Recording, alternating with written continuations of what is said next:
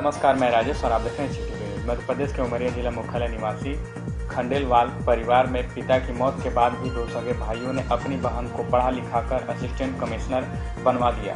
एवं बहन की पढ़ाई में आर्थिक समस्या पैदा न हो, इसलिए भाई ने अपनी पढ़ाई छोड़ दी। यह कहानी भाई बहन के आपसी रिश्ते में मौजूद प्यार, त्याग एवं समर्पण का अनूठा उदाहरण सामने आया है। जिला मुख्यालय निवासी गीता खंडेलवाल के पति की मौत वर्ष उन्नीस सौ चौरानवे में हो गई थी, जहाँ उनके तीन छोटे छोटे बच्चे थे।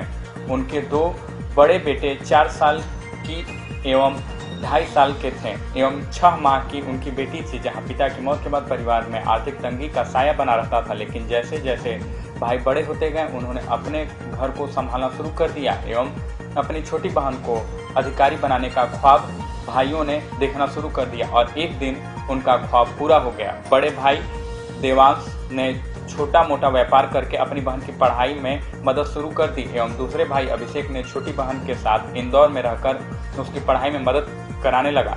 छोटा भाई अभिषेक करने के बाद बीए करने के बाद एमटेक करना चाहता था, लेकिन अपनी छोटी बहन में छुपी प्रतिभा को देखकर उसने अपनी पढ़ाई छोड़ दी और इंदौर शहर में ही कोचिंग देने लगा एवं अपनी कमाई के पैसों से बहन की पीएससी की तैयारी करवा दिया। वहाँ उनकी छोटी बहन दीपाली खंडेलवाल प्रथम प्रयास पर ही वर्ष 2016 में असिस्टेंट कमिश्नर सहकारिता का पद हासिल कर लिया। लेकिन उनका डिप्टी कलेक्टर बनने का ख्वाब पूरा हुआ, नहीं हुआ, जहाँ अपने भाइयों की मदद उन्होंने फिर पीएससी की परीक्षा दी और लगातार तीन बार की परीक्षा में उन्होंने डीएसपी उप संचालक उद्योग के लिए सेलेक्ट हो गए। वहीं डिप्टी कमिश्नर सहकारिता के पद पर अपनी सेवा दे रही हैं। वहीं दीपाली खंडेलवाल अपनी सफलता के पीछे अपने भाइयों के योगदान को सर्वश्रेष्ठ मानती हैं, जहाँ उनके भाई अपनी बहन की इस उपलब्धि को उनके कठिन परिश्रम को ही श्रेय देते हैं। पेश है उमरे से शंकर सिंह चंदेल की खास रिपोर्ट। मेरे तो फादर नहीं है बचपन से ही तो मेरे दोनों भाइयों ने एक भाई होने के साथ साथ एक पिता की रिस्पॉन्सिबिलिटीज को भी बहुत अच्छी तरीके से निभाया है। और आज मैं वर्तमान में इंदौर में as assistant commissioner cooperative department में वर्क कर रही हूँ। तो आज इसका मैं सारा क्रेडिट मेरे मेरे दोनों भाइयों को देती हूँ जिनकी बदौलत आज मैं इस मुकाम तक पहुँच सकी हूँ। क्योंकि उन मेरे दोनों भैया लोगों ने ही अ, मुझे मेरी पढ़ाई में मुझे बहुत सपोर्ट किया मुझे उमरिया जैसी छोटी जगह से बाहर भेजकर इंदौर में आगे बढ़ने के लिए प्रे- प्रेरित किया। और मेरे जो छोटे भैया हैं, उन्होंने अपने एजुकेशन से ब्रेक लेकर के मुझे मेरी पीएससी की पढ़ाई में सपोर्ट किया, ताकि मेरी पढ़ाई में कहीं कोई रुकावट ना आए। और उसके बाद कंटिन्यूसली मैंने जब जब पीएससी की प्रिपरेशन करी, मेरे सारे अटेम्प्ट में, सारे इंटरव्यूज़ के समय उनका मोरल सपोर्ट मुझे, मेरे दोनों भाइयों को मिलता रहा दोनों भाइयों से मुझे मिलता रहा। और जब लोग कहते थे कि पीएससी जैसा कठिन एग्ज़ाम है, जो लोग फ़र्स्ट अटेम्प्ट में क्लियर नहीं कर सकते, वहाँ पर मेरे दोनों भाई मेरे मोरल स्ट्रेंथ की तरह मेरे साथ खड़े रहे और उन्होंने हमेशा मुझे इसी बात के लिए प्रेरित किया कि तुम्हारे अंदर वो बात है और तुम हार्डवर्किंग हो और अगर तुम मेहनत करती रहोगी तो तुम्हें किसी भी चीज़ के बारे में सोचने की ज़रूरत नहीं है और तुमको एक दिन वो मुकाम ज़रूर मिलेगा। तो आज मैं जिस जगह पर हूँ, उसका पूरा श्रेय मैं मेरे दोनों भाइयों को देती हूँ और मैं बहुत लकी हूँ कि मुझे ऐसे दो भाई मिले हैं, बहुत किस्मत वाली बहनों को ऐसे भाई हमारे उमरिया जिला में सेठ चिमन लाल जी का नाम लगभग लगभग जिलेवासी सभी लोग जानते हैं। एक अच्छे प्रतिष्ठित और अच्छे प्रतिष्ठान के व्यापारी हैं और अच्छे व्यवहार और कुशल व्यापारी हैं। इनकी बेटी और की शादी हुई, इसके बाद में इनके बच्ची के दो बालक, एक बालिका का जन्म हुआ। ये बड़ी दुखद बात है कि इसी के तट पर छोटे छोटे बच्चे थे और पति का देहांत हुआ, इन- इन्हीं की चुम्बनलाल सेठ जी के दामाद का।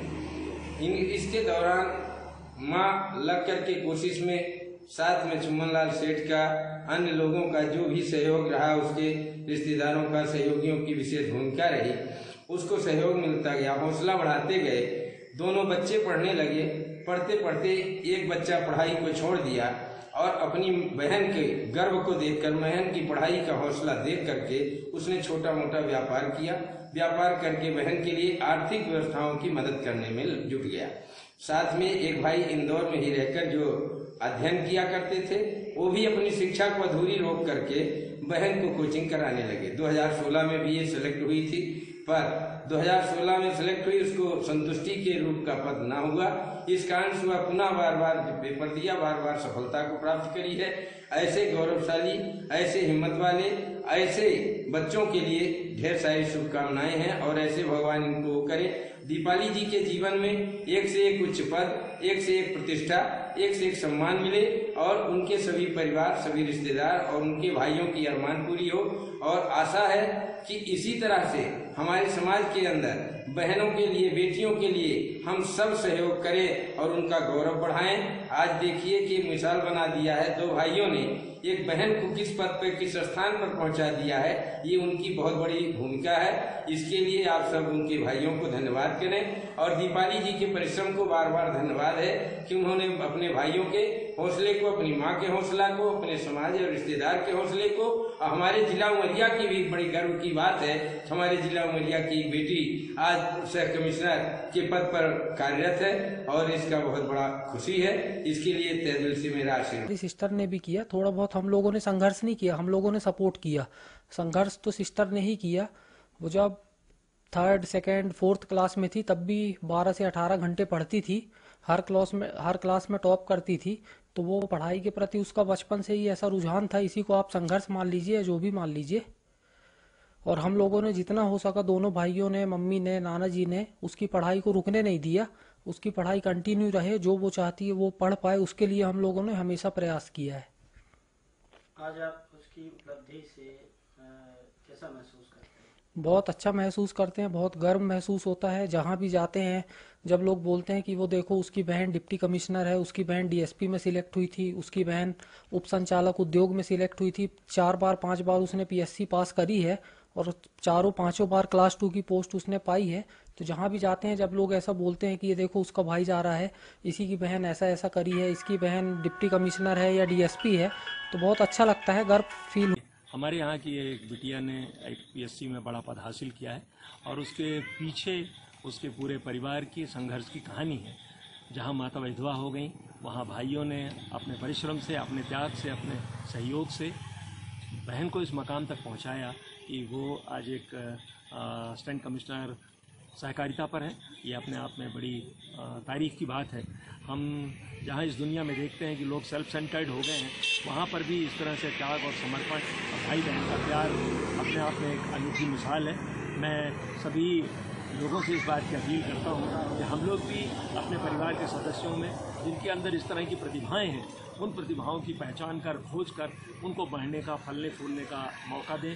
तो मैं ऐसे उम्मीद करता हूँ, ज़िले में हर घर से ऐसे अधिकारी निकलेंगे, अपने भाई बहनों के सपोर्ट से। एक बार फिर उनकी कामयाबी की मंगल कामनाओं के साथ में बहुत संघर्ष के साथ वो मेरी स्टूडेंट दीपाली जो है आज इस मुकाम पर है।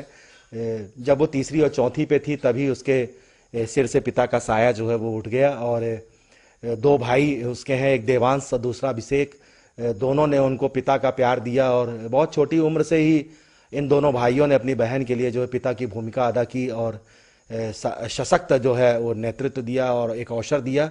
और दीपाली को जो है लड़की होने के बावजूद भी उन्होंने जो है इंदौर शहर में जो मध्य प्रदेश का महानगर है, वहाँ पढ़ने के लिए भेजा और उस, उसने भी अपने भाई के सपनों को जो है पूरा करने के लिए सार्थक प्रयास किया।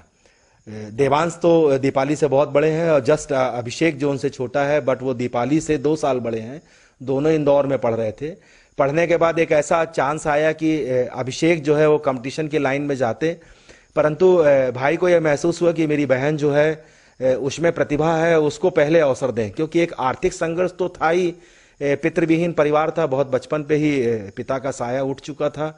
तो उसने ये त्याग किया और अपनी बहन को अवसर दिया और ईश्वर ने भी अच्छा साथ दिया उस, उन दोनों की मेहनत को। और दीपाली जो है, वो प्रथम प्रयास में ही मध्य प्रदेश की परीक्षा के लिए वो चयनित हुई और सहायक आयुक्त हुई और जो है उसने इसको चूज़ किया। परंतु उसकी इच्छा अभी भी है और भाई की भी तमन्ना, माँ की भी तमन्ना, इच्छा है, आरज़ू है कि वो जो है डिप्टी कलेक्टर हो। नगर में हमारे सम्मानीय चिमन लाल जी हैं। इनकी एक बेटी विधवा होने के बाद यहीं उमरिया में रहने लगी थी, बड़ी गरीब स्थिति थी। उनके एक बेटा और एक बेटी थी। आज उस बेटी ने हमारे उमरिया नगर का, हमारे उमरिया ज़िले का और इस धरती का नाम रोशन किया है। वो डिप्टी कलेक्टर बनी है। इस गरीब स्थिति से और सम्मानी चिमन लाल जी ने ही उन लोगों की थोड़ी बहुत जो भी मदद की होगी। बाकी उसके भाई ने अपनी बहन को पढ़ाने के लिए प्राइवेट सर्विस करके और तन मन से कार्य कर कर अपने भाई को इस सफल बहन को अपनी सफलता के मुकाम पर ले जाने का जो ये प्रयास था उसका, और उसने उस मंजिल पर अपनी बहन को बिठा दिया।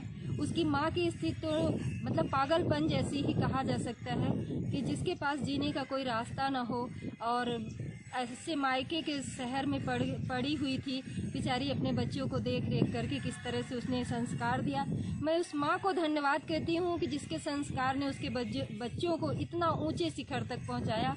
और मैं सम्मानी चिम्मन लाल जी को, ऐसे आदरणीय हमारे सम्मानी मैं उनको भी नमन करती हूँ। और शुभकामनाओं के साथ ये समाज को एक संदेश देना चाहती हूँ। कि हर पुरुष को इसी तरह आगे आकर के अपनी बहन बेटियों की मदद करनी चाहिए, जैसे सामान्य चिमन लाल जी ने की